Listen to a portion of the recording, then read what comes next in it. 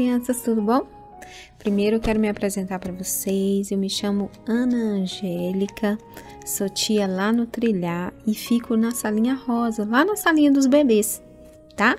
Então, e hoje eu queria vir aqui conversar com vocês, né, sobre três coisas: sobre fé, sobre obediência e sobre paciência.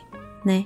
E para isso eu vou usar um personagem da Bíblia que eu gosto demais, né? Que fala muito no meu coração e que eu acho que vocês gostam dele também.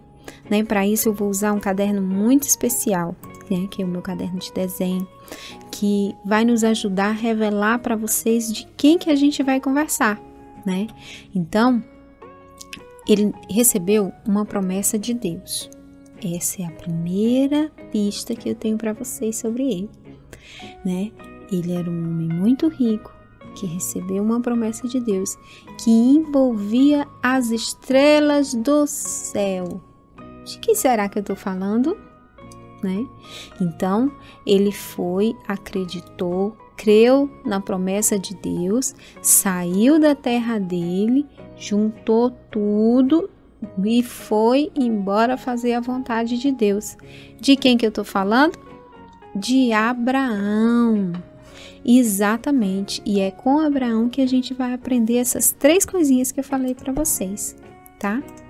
Então, Deus tem muitas bênçãos para nós, né? Assim como teve para Abraão, né? E ele prometeu a ele uma grande descendência, mesmo que isso parecesse impossível aos olhos dos homens, né? Até porque Abraão já era velho, e a Sara também já era velha, né? Mas Abraão creu na palavra do Senhor, ele creu na promessa de Deus. Então, nós temos que também seguir esse exemplo, nós temos que acreditar que aquilo que Deus nos promete, que as bênçãos que Deus tem para nós, ele tem prazer em nos dar. Né? Mas nós também temos que ter a nossa, fazer a nossa parte e também temos que ter paciência. Eu sei que vocês conhecem a história de Abraão né? E vocês conhecem, vocês sabem que Isaac demorou para nascer. Não sabem disso? Sabem, lógico que sabem. Nesse segundo momento, o que foi que aconteceu, né?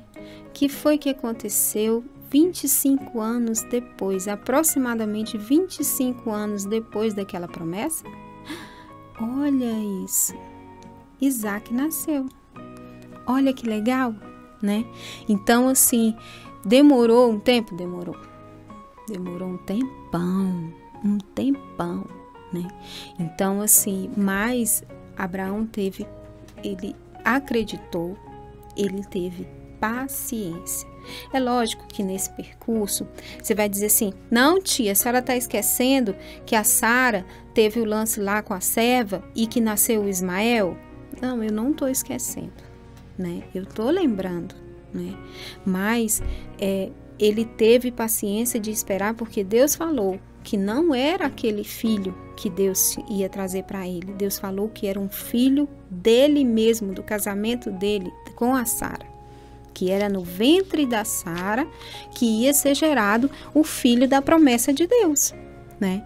E eles creram e esperaram. No capítulo 18, vocês vão ver que o próprio Deus visita Abraão e Sara e eles e Deus fala para eles que no ano seguinte, né, quando Deus retornasse, eles já estariam com os filhos nos braços, né? Então, a, isso é um exercício que nós também temos que ter. Temos que ter paciência para esperar o tempo de Deus para as coisas acontecerem né? Não deve, devemos ser ansiosos por coisa alguma, né? Nem sempre quando a gente quer aquela coisa é o melhor para nós. Às vezes a gente quer tanto uma coisa, quer tanto, e a gente fica perguntando: Deus, por que tu não me dá? Ah, eu quero tanto aquela coisa, às vezes eu quero tanto aquele brinquedo, às vezes eu quero tanto fazer isso e não, eu não consigo, né? Às vezes tenha paciência, né? Às vezes Deus quer te dar uma coisa muito melhor, mas às vezes a gente insiste e aquele negócio também nem era tão legal. Então, vamos voltar no nosso caderninho, né? Para nós terminarmos essa história bacana de Abraão, né? Então, na nossa história, Né? Abraão, ele, depois que Isaac nasceu, Abraão ficou muito feliz.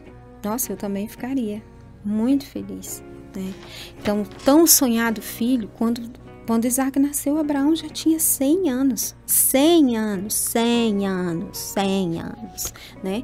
Então, ele ele estava muito feliz e ele ficou muito feliz, com o coração muito grato, né? Muito grato a Deus. E ele amava, amava muito Isaac, amava muito. Por quê? Porque era o filho amado, o presente de Deus para ele, para Sara, né?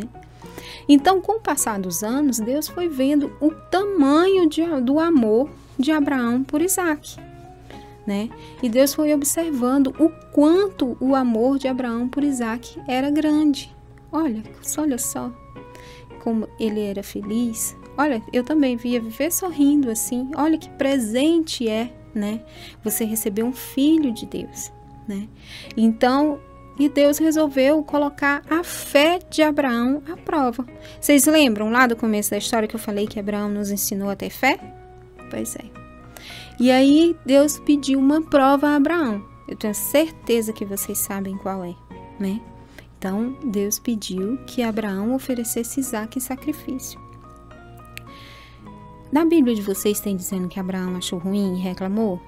Na minha não tem. Pois é, ele não reclamou. Não reclamou, não achou ruim. Mesmo com o coração entristecido, ele obedeceu a Deus, porque ele sabia que o nosso Deus não era mau e que ele jamais ia fazer, pedir algo que não fosse gerar algo bom no final. De, nosso Deus é bom. Mesmo que as circunstâncias não pareçam boas, o nosso Deus sempre tira algo bom para nos dar. Então, Abraão acreditou nisso e obedeceu e foi até o monte, fez o altar para oferecer Isaac ao holocausto.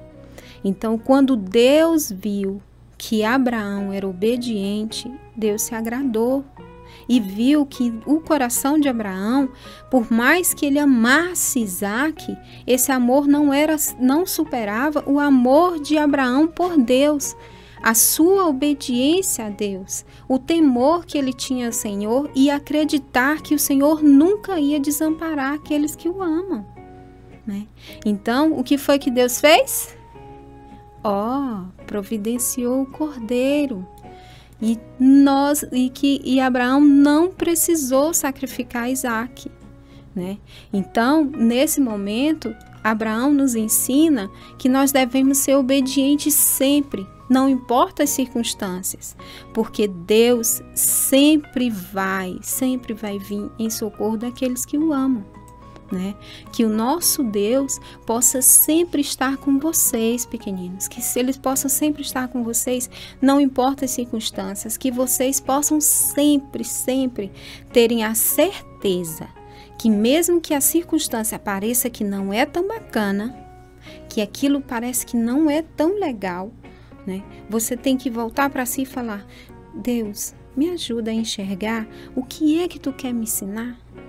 O que, que é aquilo que tá, eu preciso aprender?